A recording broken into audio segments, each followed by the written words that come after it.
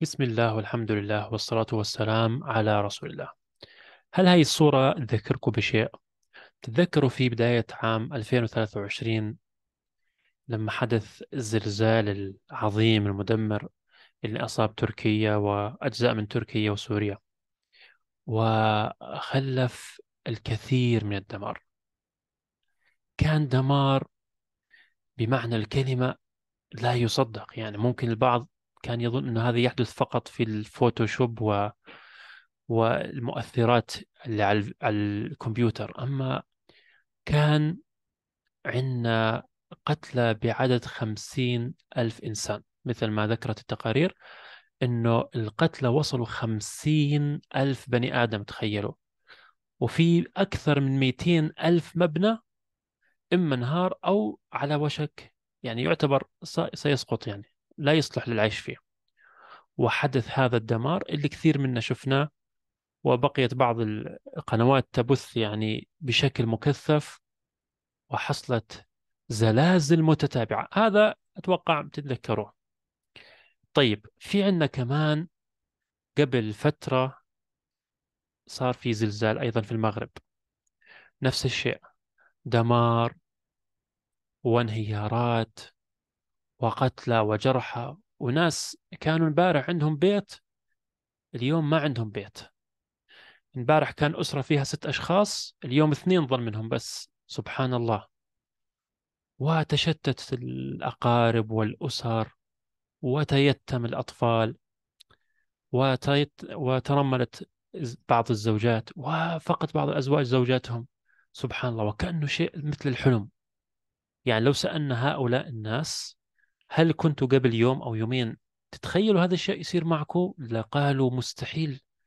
كنا نبني المستقبل نفكر في المستقبل مستقبل أبنائنا. ففجأة جاء هذا الأمر اللي أوقف كل تخطيطات حياتنا.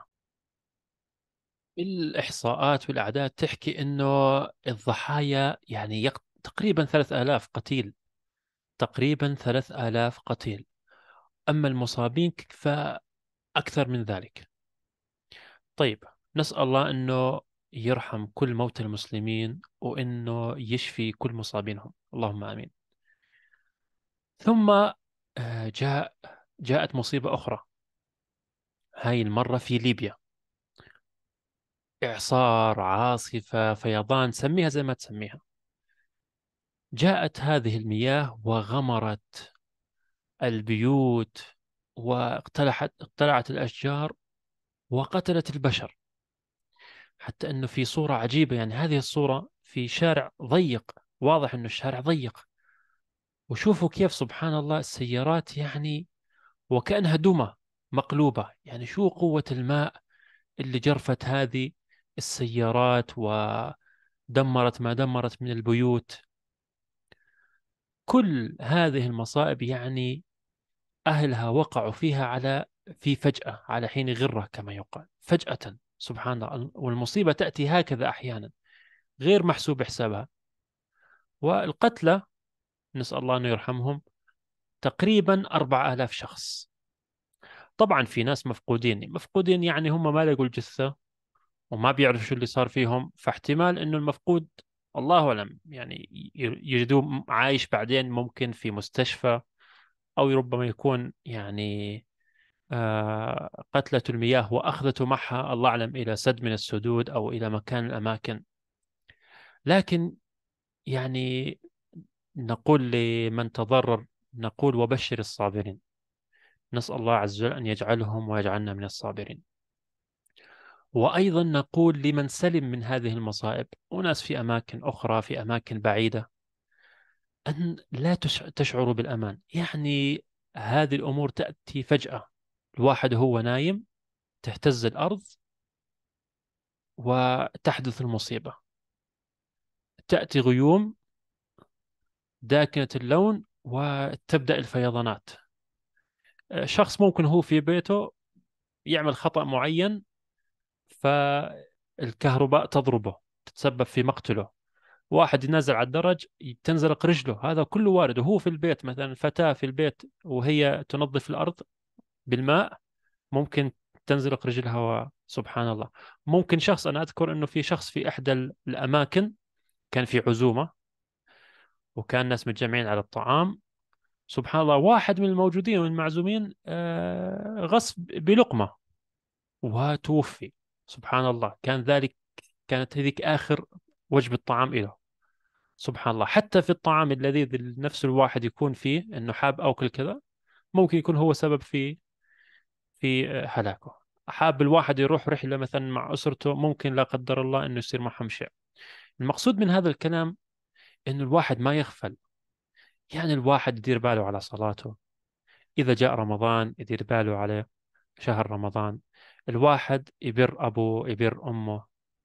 يعني هاي الأمور يعني الإسلام الحمد لله مش شيء معقد شيء بسيط في كثير من الأشياء يعني العبادات يعني فيها ربما بعضها مشقة لكن ليست يعني مستحيلة وليست شديدة الصعوبة بالعكس إحنا نعمل أشياء أصعب بكثير يعني اللي بيعمل اللي بيشتغل آه بيطلع من الصباح يطلع من الصباح ويرجع في المساء.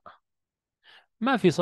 في الإسلام مو مطلوب من الواحد إنه يصلي من الصباح إلى المساء صلاة واحدة فالأمور الحمد لله هينة. فنتذكر هذه المشاهد نتذكر إخواننا وأخواتنا المسلمين اللي في الشرق والغرب لأنه إحنا كل كلياتنا أمة واحدة والله سبحانه وتعالى يقول إنما المؤمنون إخوة. ونحن نؤمن بأن الله سبحانه وتعالى هو ربنا وأنه لا يقول إلا الحق. فما دام أنه ربنا عز وجل قال إنما المؤمنون إخوة فخلص المؤمنون إخوة إنما المؤمنون إخوة. فإخواننا هؤلاء نحن نترحم على أمواتهم وندعو لمصابيهم. وبنفس الوقت نتجهز أيضا نكون جاهزين لأنه تعرفوا يعني الخلود مستحيل يعني ما راح حدا يخلد. ستأتي لحظة يعني يقول فلان رحمة الله عليه أو فلانة رحمها الله. هذا الشيء ممكن يكون قريب جدا ممكن يكون قريب نوعا ما بس على كل كما يقال كل ما هو آت قريب. إذا كان الإنسان مستعد فستكون هذا انتقال إلى حياة أكثر آه، راحة حياة طيبة يرتاح فيها الأكثر الشخص المؤمن ويحصد ثمار ما زرع. لكن إن كان لا قدر الله عايش في غفلة لا صلاة لا صيام ويسيء للناس وغير ذلك فهذا والعياذ بالله الله أعلم بكيف تكون الأمور عنده. فهذه آه، تذكرة لنفسي ولمن يسمعني ونسأل الله عز وجل أن يكتب فيها القبول. والحمد لله رب العالمين. والسلام عليكم ورحمة الله وبركاته.